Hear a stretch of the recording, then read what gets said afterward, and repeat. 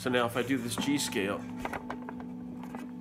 regardless of whether I'm heading this way or down this way, if it's if I'm doing a downbeat, I'm doing a downstroke. If I'm doing an upbeat.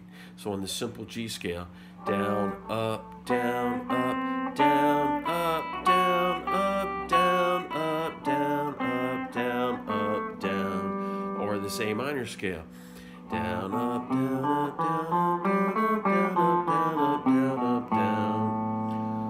did we do the C scale for Joy to the World yet? Yes.